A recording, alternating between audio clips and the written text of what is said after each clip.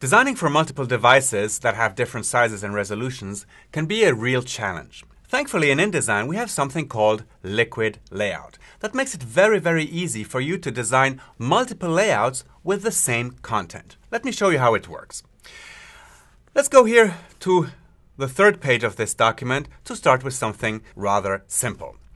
Let's open the Liquid Layout panel and we can see that right now we cannot really select anything inside of the panel. That's because to work with liquid layouts, we need to use the page tool. So let's go take the page tool over here in my, in my tools and select the page we want to work with.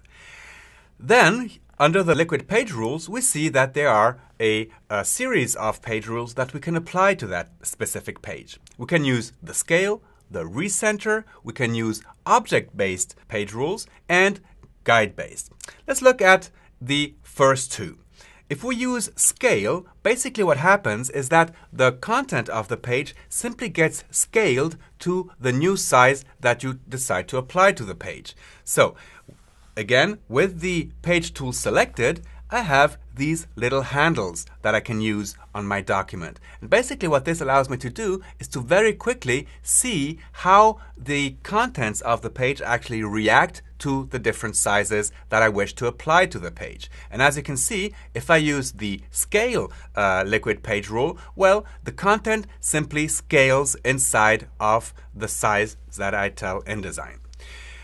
Let's look at the second one, the recenter. And that's another way of thinking about the content, because basically what InDesign does here is as the page size changes, all that happens to the uh, to the content is that it actually gets recentered inside of the page. Basically, this can be very useful if you're working on a smaller layout and rapidly want to create a layout for a larger uh, tablet or a larger device, or for a larger print page, for example.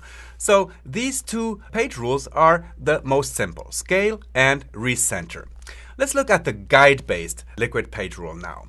Basically, how this works is it uses information from guides that you put on the page to decide what can scale and what cannot.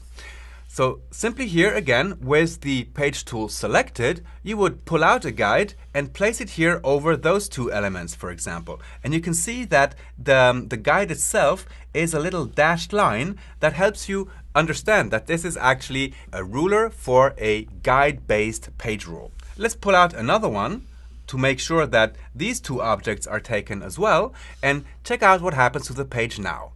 Now, when I make the page smaller, we see that all of the elements actually scale proportionally uh, within that space.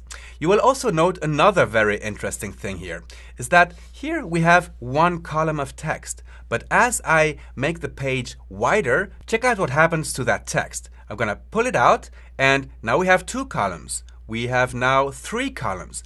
How is that even possible? Well, let's go back here to my selection tool, select the text frame, and I'm going to control click on it and check out the text frame options. And we will see that here we now have the possibility to choose flexible width for any columns.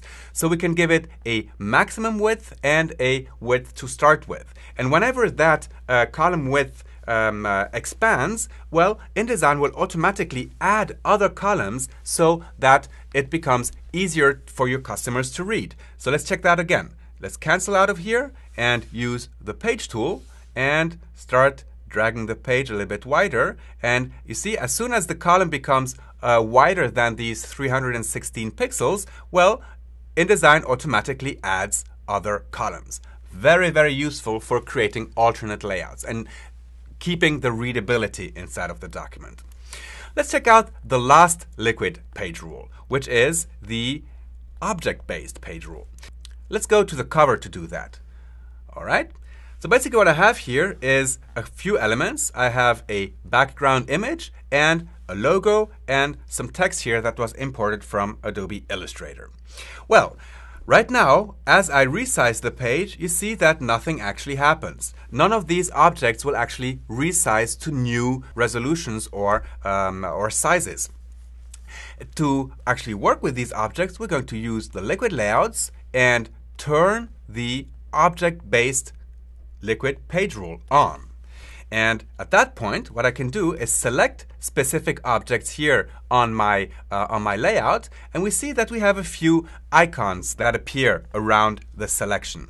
The first ones we notice are the darker dots here. And basically what these are, these are a signal to show me that now the object is pinned to the right of the page in that case, and to the top of the page. And it is not pinned to the left and not pinned to the bottom of the page. Basically what we've done here is to actually tell InDesign to pin that object on the side of the page. Now, as we scale the page, we also see that we have a problem with the background image, which does not scale. So selecting that background image, we see that it is actually pinned on all sides of the page. But what we're going to ask InDesign to do is to actually auto-fit the content. So as soon as we click on auto-fit, you will see now that as the page resizes, the image will also resize in it. One last thing we need to pin here is actually the writing down here. And automatically it has been pinned at the bottom and to the left, but of course I can change that. Another interesting thing that we can see here is that we have little padlocks here that signify that this object has um, uh, does not rescale as the, the, the page size changes. But if I click on it, you see that now we have this little wavy kind of icon that signifies that I will allow the object to actually resize horizontally. Let's check it out. See how the image frame actually resizes horizontally. And if I now click again and put the padlock back on, and do the exact same thing, we see that the image frame does not resize. So basically, by using Liquid Layout uh, in InDesign CS6, it makes it much, much easier for you to repurpose your content for tablet devices, but also print documents. Imagine you have a series of ads you have to do that ha all have different sizes because the magazines are different sizes, or the magazines require you to create various sizes of the same ad. Well, with Liquid Layout, you can create one InDesign document and then create alternate layouts within a same InDesign document, repurposing the exact same content. So InDesign CS6 makes it much, much easier for you to create multiple versions of the exact same content.